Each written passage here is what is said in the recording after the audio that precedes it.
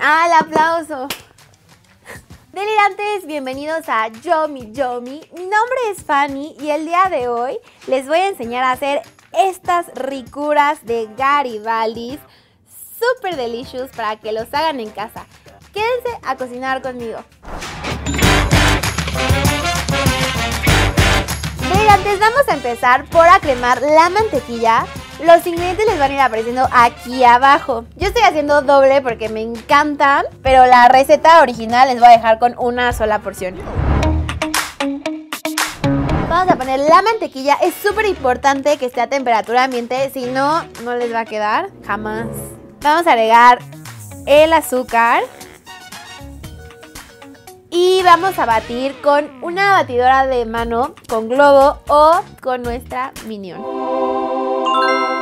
Que súper raro porque siempre la tengo así y ahora está así. Y vamos a irla mezclando hasta que esponje se blanquee un poco.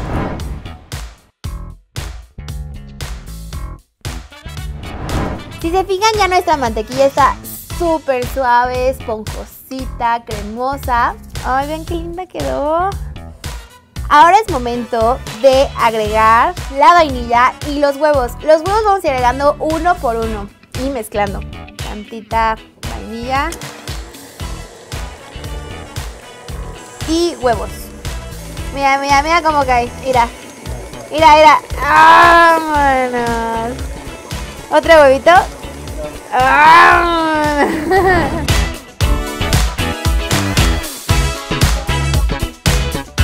Ya que tenemos completamente integrado los huevos con la mantequilla, lo que vamos a hacer en este paso, en este punto de la vida, es cambiar el globo por nuestra, nuestro pretzel. Ahí está. Y vamos a ir agregando la harina que ya tengo tamizada con el polvo para hornear, ya están mezcladas, con la crema para batir. O sea, un poco de una, un poco de otra. Así, mezclando, alternándolas.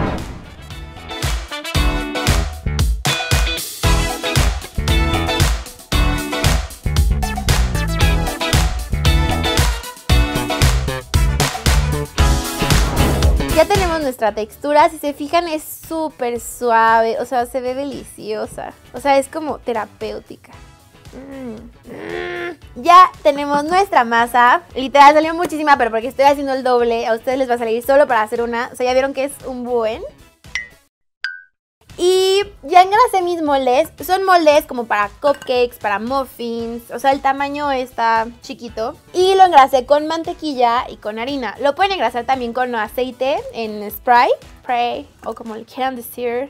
Ya que está aquí, tengo precalentando mi horno a 180 grados. Voy a ir proporcionando la mezcla. Si tienen un scoop de helado, úsenlo.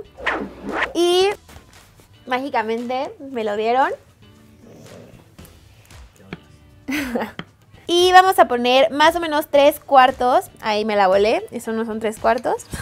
3 cuartos del moldecito. Porque esta mezcla sí esponja.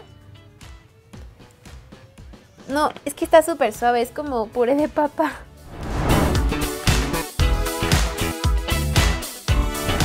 Mientras horneando, voy a ir diluyendo la mermelada de chabacano. Es súper importante, o sea, el Garibaldi siempre va con mermelada de chabacano. Si quieren utilizar otra mermelada, pueden hacerlo. Pues yo les estoy dando la versión original.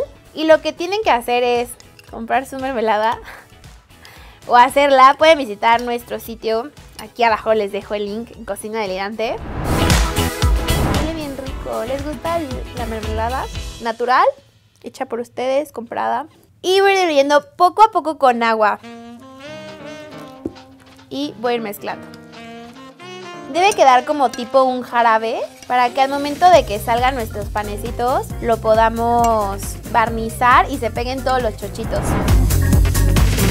Si siguen la textura, o sea, a pesar de que tiene como los trocitos de chabacano, si consiguen sin trozos pueden hacerlo. Es como de un jarabe. Ya salieron del horno, vean qué bonitos quedaron. La verdad es que sí les queda como un pequeño bultito, lo pueden ver. Y ya los dejé enfriando durante 15 minutos, ya no están calientes, ya por eso los puedo tocar. El siguiente paso, yo se los recomiendo para que se vean estéticamente mejor, es cortarles justo esta parte. Así y ya quedan súper parejitos. Ya que tenemos nuestros Garibaldis de esta forma, les voy a dar un dato curioso. Garibaldi fue un italiano, un militar italiano, que unificó Italia en 1800. Pero también era un grupo que salía Sergio Mayer. ¿Quién no salía?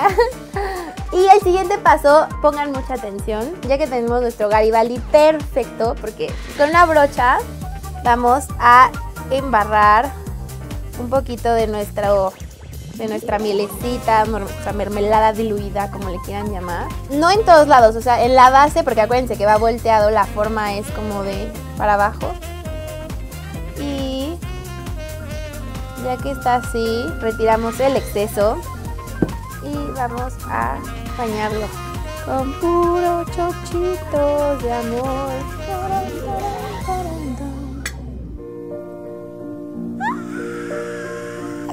¡Ven qué lindos! Están súper bonitos, ¿no? Y obviamente vamos a terminar con todos nuestros garibaldis. De les presento a otra de nuestras editoras, Pamela. Hola. La vez que es muy tímida, nunca quiere venir, pero bien que come cada capítulo. Como todo lo que Fanny prepara. Todo. Y yo vamos a probarlo. Hazme el honor. Y, Y yo. yo.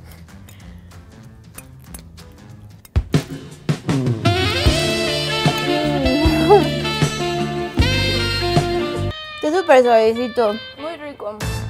Delirantes, espero que les haya encantado esta receta. Quedó súper yummy. No se les olvide echarme sus likes de este lado, suscribirse, activar su campanita. Dejen aquí abajo todos sus comentarios si les gustó, si quieren aprender a hacer pan, otra receta, díganmelo. También los quiero, los quiero invitar a darme un follow a mi Instagram. Aquí abajo les dejo mi nombre, Los Caprichos de Fanny, para que vean qué tanto cocino, qué tanto como en mi día a día. La verdad es que creo que es divertido. Que conozcan al Spotty Bebé. Nos vemos el próximo miércoles. Adiós. Thank